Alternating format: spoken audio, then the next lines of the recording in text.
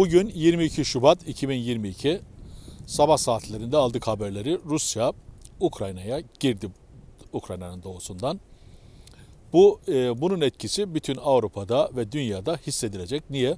Rusya'ya karşı müeyyide uygulayacaklar. Bu müeyyideler nasıl e, e, Avrupa ülkelerini etkileyecek? Rusya biliyorsunuz müeyyide falan takmıyor. Zaten 2014 yılından beri müeyyideler vardı. Bunların daha çok uygulanan ülkelere zararları oldu. Mesela Finlandiya'nın Rusya'ya sınır olduğundan Finlandiya ülkesi e, ne oldu? Rus turistler gelmemeye başladı. Sınır ticareti bitti ve bu Helsinki merkezindeki özellikle çünkü Petersburg'a 300 küsür kilometre Helsinki Helsinki merkezindeki bütün mağazaları etkiledi ve şu anda korona nedeniyle de daha da zor durumda kaldılar ve yavaş yavaş kepenkler indiriliyor. Boş dükkan bulmak çok daha e, kolay. Bunun etkilerini görüyoruz. Sonunda video e, çektim orada koyarım size. Kiralık dükkanlar ve boş bir cadde. Şimdi Ukrayna ne oldu? Ee, Rusya ile problemli ve bu problem ne yapacak? Yeni müeyyideleri gerektirecek. Çünkü dünya ilk Ukrayna'nın arkasında duruyor gibi. Sonuçta Finlandiya'nın Rusya ile ticareti tamamıyla durma noktasına gelebilir. Ve Finliler bugün Cumhurbaşkanı da konuşma yaptı veya diğerleri parti liderleri falan konuşma yapıyorlar. Finlandiya'ya Rusya'dan bir tehdit yok. Ama bu tehdit her zaman Finlilerin eski tarihi Rusya ile savaşları nedeniyle her an her Finli için Ruslar geldi gelecek intiba var. Şimdi 2014 e, yılında Rusya Ukrayna'nın Kırım bölgesini aldı.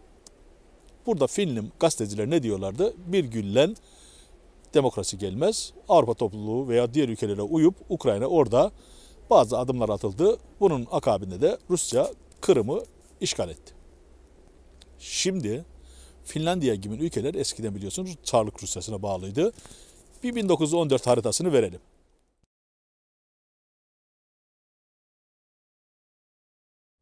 Evet, haritada Finlandiya Rusya'ya bağlı gözüküyor. Baltık ülkeleri öyle. Polonya'nın bir kısmı da. Şimdi buradan e, ne oluyorlar? Acaba Putin bu haritayı yeniden canlandıracak mı? Finlandiya medyasında bazen görürüz işte Rusya işte Finlandiya'yı da işgal edecek falan filan söylüyorlar. Ben Rus yetkililerin e, böyle bir düşüncesi olduğunu zannetmiyorum.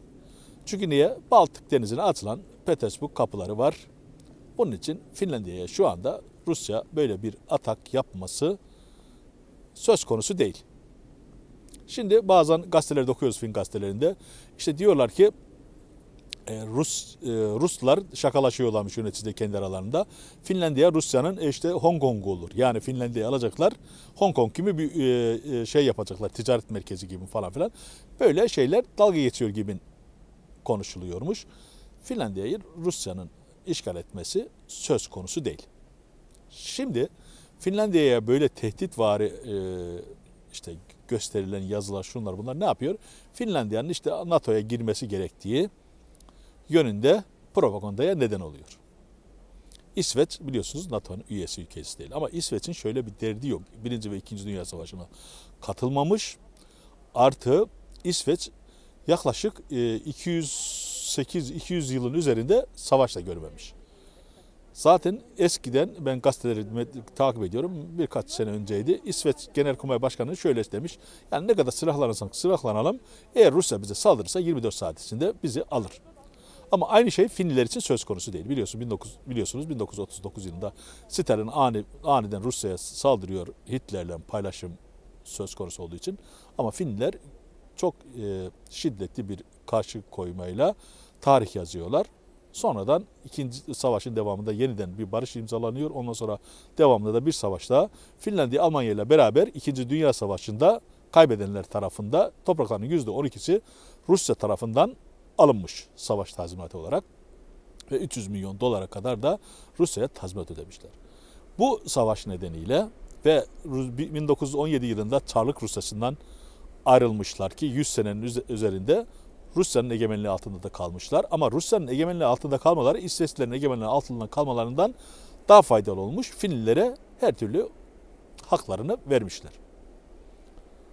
Şimdi ne, niye böyle tarih anlatıyorum size? Çünkü bazıları Türkiye'den bilmezler. Bizim e, Türkiye'nin komşuları olanlar mesela Osmanlı İmparatorluğu nedeniyle işte Türkler geldi gelecek korkusu var. Aynı korku burada Bat, e, Baltık ülkelerinde Ruslar geldi gelecek var. Biliyorsunuz Baltık ülkelerinde hemen hemen hepsi ne yapmış? NATO'ya girmişler. Bir Finlandiya kaldı. Finlandiya genelde tarafsız olma e, başardığı için Soğuk Savaş zamanında da bu onun çıkarını olmuş. Finlandization diye bir terim ne yapmış? E, diplomasiye de girmiş. Ne demek? Yani büyük devletler küçük devletleri yönetirler. Şimdi aynı şey Ukrayna'da ne yapıyor? Rusya Ukrayna'ya karşı yapmaya çalışıyor. Burada en önemli dikkat edeceğimiz bir şey var. Şimdi film medyasında dediğim gibi o 2014'teki işte olaylarda yani bir iki güllen diyor e, demokrasi gelmez. Batı ülkeleri orada gittiler çok fazla yaklaştılar. Önce 2008 yılında Gürcistan'da oldu olay. Yani Gürcistan alalım. Öbür taraftan Ukrayna tarafından Rusya'yı ablukaya alalım diye bazı şeyler yaptılar. Bu arada öğreniyoruz ki Ukrayna'da da işte Rusya'yı yasaklayalım mı şudur budur gibi adımlar atılıp e, Rusya Rusların yaşadığı bölgelerde de sorunlar oluşturma durumu olmuş. Yani burada keşke Batılılar hiç Ukrayna'ya öyle ümit vaat edip iç işlerine fazla karışmasaydılar. Ben bu şeydeyim.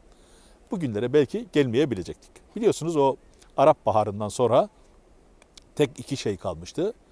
Türkiye ve e, Putin ve Erdoğan. Bizim e, Türkiye'de gezi olayları falan filan 17 17 25 27 Aralık 25 Aralık gibi şeyler oldu Türkiye'de biliyorsunuz. Erdoğan'la Putin'le Batı memnun değildi. Ukrayna veya başka şeylerde olacaktı. Putin buralarda hamleler yapıp bu hamleleri boşa çıkarttı. Ama Ukrayna'yı bu şekilde değil de daha uygun bir şekilde e, razı edip e, keşke topraklarını işgal etmeseydi. Ama bunlara neden oldu. Bunun sonucunda da Batı ülkelerinde şu anda e, Batı Avrupa ülkeleri Rusya'ya müeyyide uygulayacaklar ama gazından tutun da her şeyde onlara bağımlı. Bir de şunu söyleyeyim burada. Ülkeler uyguluyorlar. İsviçre gibi ülkelerdeki şirketleri üzerinden de bu 2014'ten sonra yapılan e, e, işte boykotlu şudur müeyyideler esnasında şirketler yine Rusya ile işler yapmışlar. Arkadaşlar e, ben Helsinki'de yaşıyorum biliyorsunuz.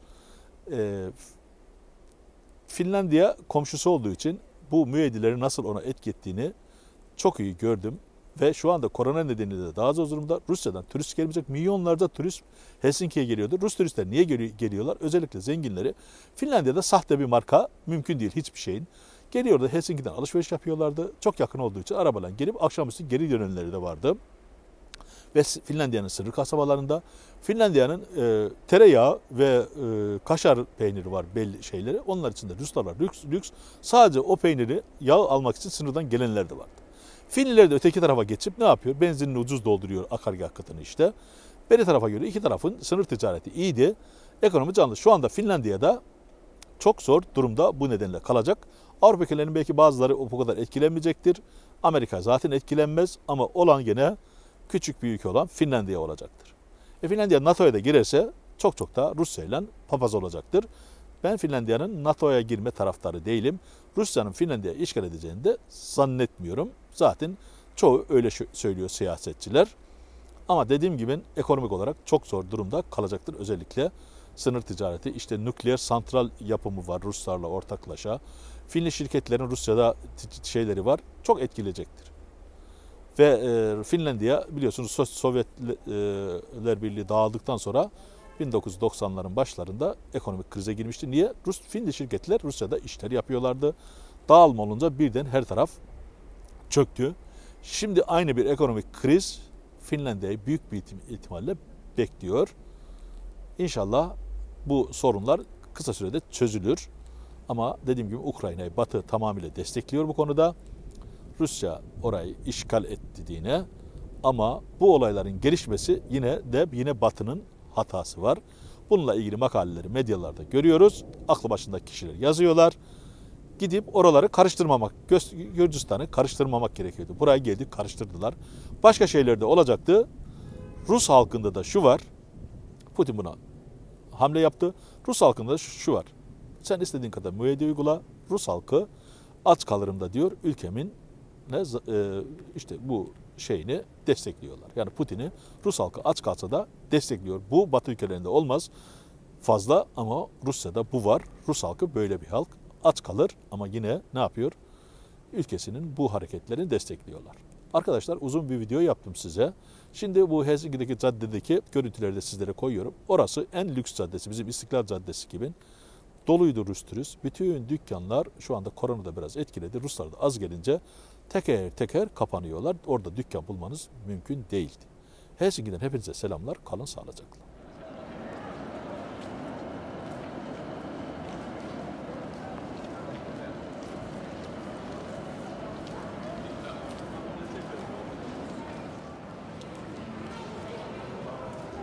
Evet, karşıda da TM vardı. O da kapattı. Yan tarafları öyle. Tamamıyla boş.